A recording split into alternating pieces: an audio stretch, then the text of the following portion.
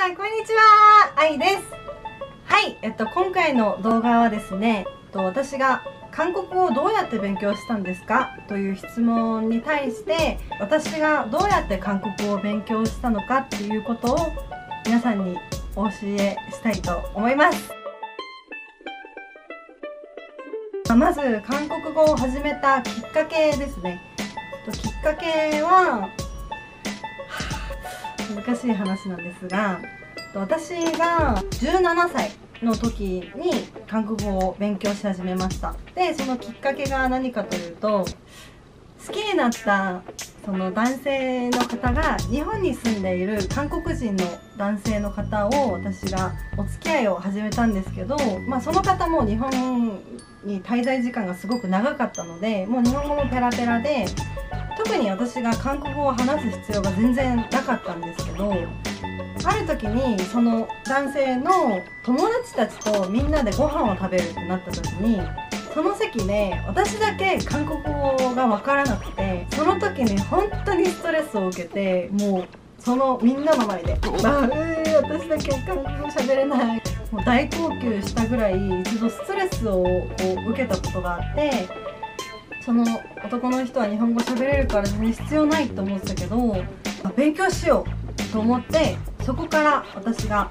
勉強を始めたっていうきっかけになりました。勉強方法なんですけどもまずはハングルをとにかくカフェに行って本当に4時間ぐらいずっとずーっと書いて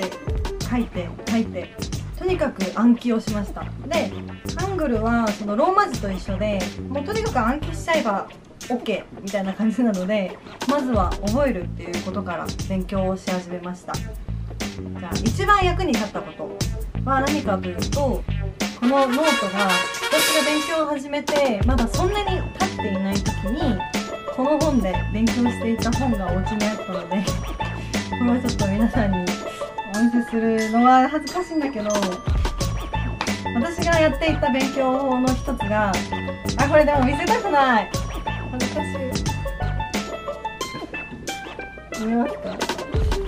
とねこれが実は歌の歌詞なんですけど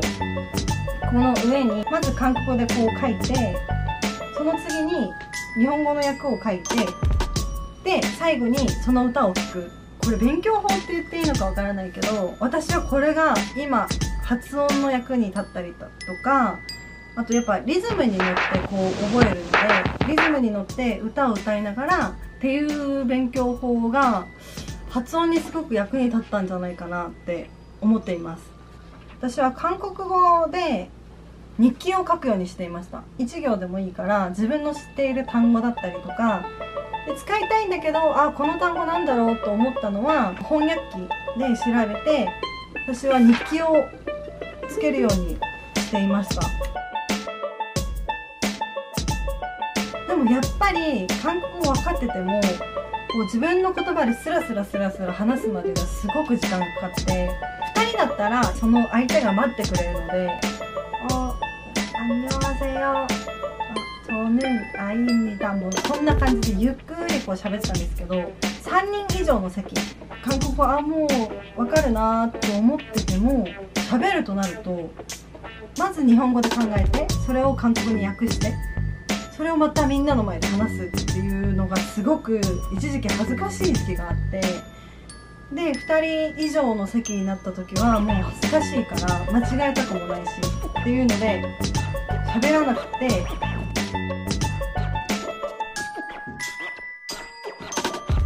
例えば「愛これどう思う?」って言われたことについてやっぱ自分の意見を言いたいっていうので拙い韓国語でもどんどんどんどんやっぱこう話すっていう風にしていったらそれがどんどんどんどんこう自然になっていって今では、ま、考えずに韓国語もちろん全然わからない単語とかもあるんですけど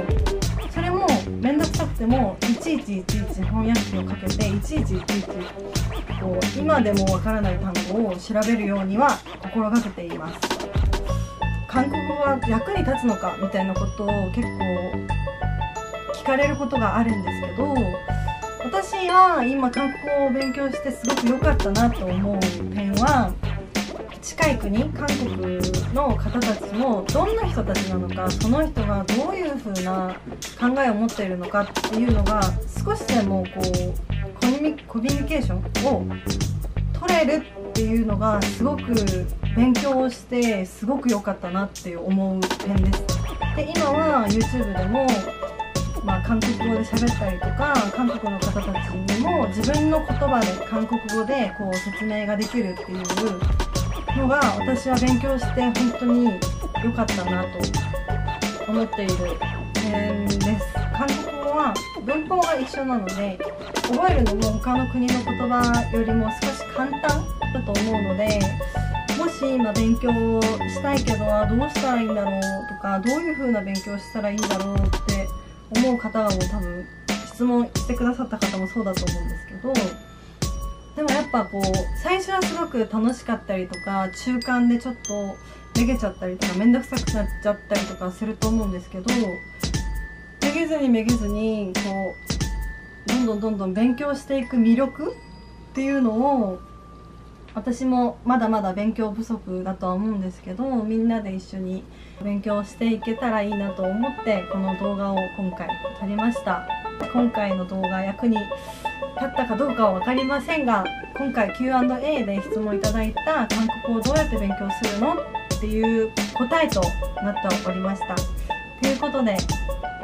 今回も動画見ていただきありがとうございました。ということで次回の動画でまた会いましょうじゃ